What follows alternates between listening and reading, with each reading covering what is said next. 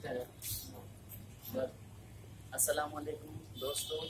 I am Anzar Pathan. I am Rikam on behalf of Muslim Youth Foundations and this letter is regarding Rohingya Muslims. There are lots of Rohingya refugees.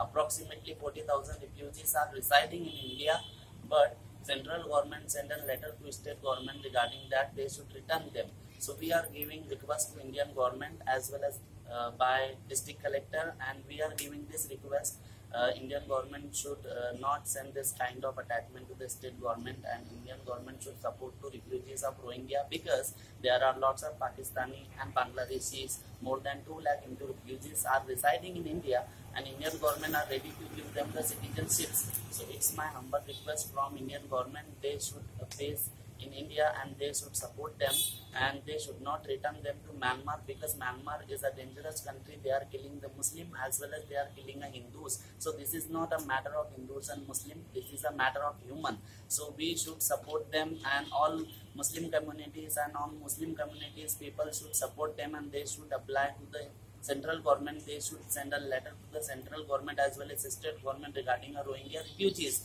they are residing here so we can do this thing over here. So that is the things. And मैं सभी भाइयों से, दोस्तों से और मुस्लिम नौजवानों से गुजारिश करना चाहता हूँ कि वो किसी भी तरह का लॉ एंड ऑर्डर का उल्लंघन ना करे और वो किसी भी तरीके का गैर कानूनी काम ना करे। हम जो है, कलम की लड़ाई लड़ सकते हैं और कलम की लड़ाई में बहुत ताकत है और हम लोग जो है, रोहिंग्या मुस्लिम के सपोर्ट में और रिफ्यूजीज के सपोर्ट में है और हम हिंदुस्तान की सरकार से ये मुतालबा करते हैं कि वो यहाँ पर रोहिंग्या मुस्लिम को यहाँ पर कुछ वक्त के लिए रहने दे। जैसे ही म्यांमार के हालात सुधर जाएँगे, वो लोग रिटर्न यहाँ से वापस चले जाएँगे और हमारी सरकार को इन पर कोई खर्च करने की ज़रूरत नहीं है। यहाँ का मुसलमान उनके लिए सब कुछ खर्च करने के लिए तैयार है। ये मेरी गुजारिश है कि आप लोग उसे जो है Indian refugees Indian Myanmar refugees को यहाँ पर रहने दें। थैंक यू धन्यवाद।